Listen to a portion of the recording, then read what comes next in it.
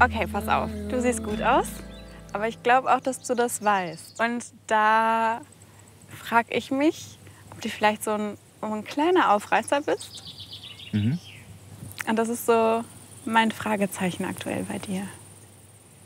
Wenn ich Okay. ganz ehrlich bin. Ja. Ich finde das immer heftig, dass ich. Ähm, also, es ist jetzt Also nicht das sagen- erste Mal, okay. dass ich so eingeschätzt werde. Nee, Und ich denke mir immer, das, das wirkt immer so, als. Also, wie oft ich schon gehört habe, auch von Jungs, ne?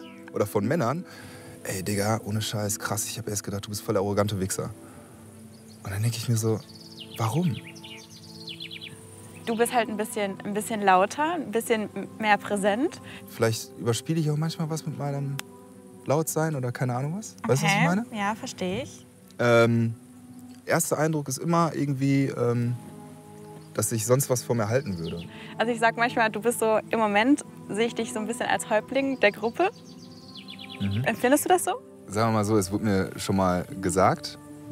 Und ähm, ich finde es eigentlich, ehrlich gesagt, finde ich schade, dass das so rüberkommt. Weil ich eher einer bin, der genau andersherum und eher so Ja, Zweifel hat und eher so, aber was ganz anderes ausstrahlt vielleicht. So, weißt du, was ich glaube, ich habe ihn da richtig mit getroffen. Es tut mir unglaublich leid, weil ich keinen in so einer Situation bringen möchte. Da habe ich gerade mit zu kämpfen. Ich habe ein richtig schlechtes Gewissen. Das ist ja auch immer so ein Ding, wenn man da irgendwie so viel durchlebt hat oder weiß nicht, vielleicht auch mal negative Erfahrungen gemacht hat, dass es auch prägt letztendlich. Ne? Mein, also mein Vater ist mit äh, ist früh gestorben, da war ich neun Monate alt, bei einem Autounfall.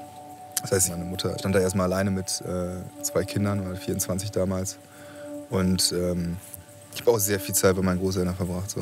Und mein Opa war so der Familienhäuptling. Ne? Und äh, Deswegen Ich weiß nicht. ein Häuptling. ja, so das ist das Krasse. Deswegen mich hat das total verwundert, als mir das dann hier auf einmal so gesagt wurde, wo ich dachte so, hä, okay. Äh, das passiert halt irgendwie unterbewusst, ehrlich gesagt. Das ist nichts irgendwie, was, was man jetzt so. Mhm. Weißt du, was ich meine? Hui.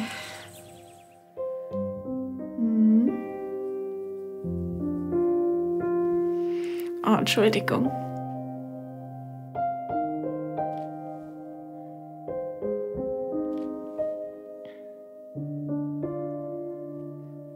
Und dann bringe ich auch noch andere Leute in Kacksituationen. Und da hab, das bereue ich gerade total.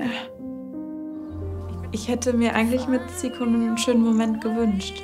Eventuell hätten wir uns heute dann auch geküsst. Ich glaube, ich habe es mir einfach selber ein bisschen versaut.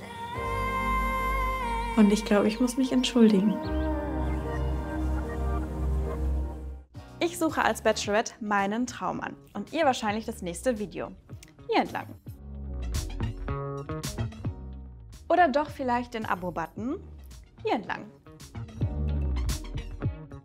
Ganze Folgen gibt's übrigens hier auf TV Now.